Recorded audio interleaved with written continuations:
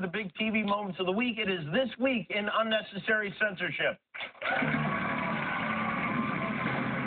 Britain's Prime Minister Theresa May, the biggest in a generation last night. My wife and I were sort of looking forward to a bit of respite, and I didn't want to stick my into that meat grind.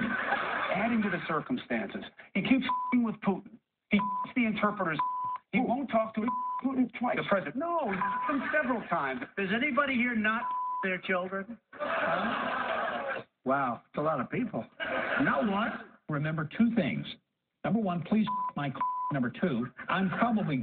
I was the last one to today, and now I am the first one to tonight. So it felt really good. So I went down to the ground and my dog. No, that's not true. Don't interrupt. I remember my first time babysitting. A four-year-old locked me in the bathroom, and the fire department had to come.